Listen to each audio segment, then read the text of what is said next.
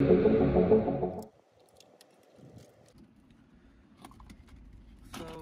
we had to remove this cable from here, from the original one, and uh, we are getting it connected with the fiber optic canbus, just like this. These RC cables you have to keep connected with the screen what it does is uh, it gets the information from the original amplifier as you see from this cable and uh, it connects it with the Android radio. These two cables, the red one, as you see it is uh, right end and the white one is left end. So we have to keep these connected with the RC cables just like this.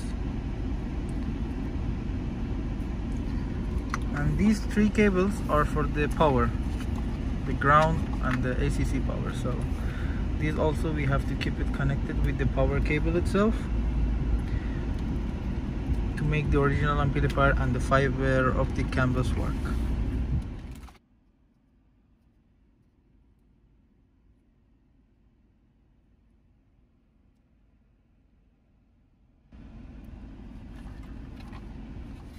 So as you see the sound is coming now. We have this sound. If we remove this cable from the connector we will not having any sound. But if we keep it uh, connected we will have the sound.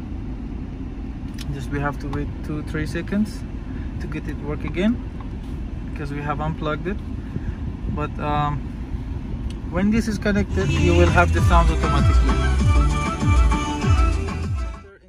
installing the PX6 multimedia for Benz ML or GL 4 GB RAM and 64 GB storage. The screen has built-in Apple CarPlay and Android Auto and also DSP sound system.